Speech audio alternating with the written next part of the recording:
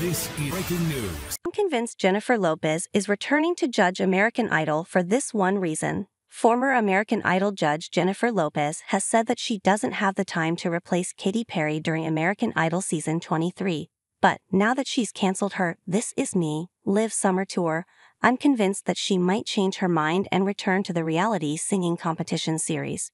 Jennifer previously served as a judge during American Idol seasons 10, 11, 13, 14, and 15, the final FOX season.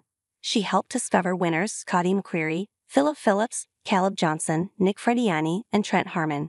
During her time on American Idol, Jennifer was a beloved judge. She was a cheerleader for the contestants, but she also gave them honest but gentle criticism when it was needed.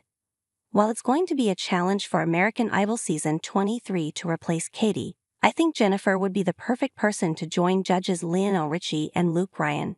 Here's why I think there's a good chance that Jennifer might now return to the American Idol judging table.